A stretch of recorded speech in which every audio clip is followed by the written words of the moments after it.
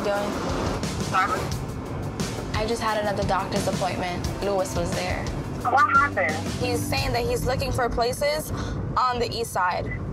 That he's not gonna come closer to where I'm at. What is he gonna expect you to do? Drive to the east side all the time? That's what I'm saying. No. Like that's not gonna work for me. Like he said it from the beginning, I'm gonna move closer to you. Okay, then I'm in my head I'm thinking, all right, if we're gonna co-parent, at least he's gonna be close to help me out. But if you're 30 minutes away, Watch, first he's gonna hit you with uh, I'm spending my money on gas. That's gonna be the first one. And then he's like, yo, these tolls are killing me. That's the same thing that happened with Devoin. Devoin used to be like, oh yeah, we'll do this. And I ended up getting everything, doing everything by myself. Exactly. I think it's really hitting me that this baby's coming. And I'm just gonna have to have a conversation with him like, listen, if we're gonna do this separately, you need to get your own. You need to get your own car seat, you need to get your own carriage, you need to get your own crib, you need to get your own everything.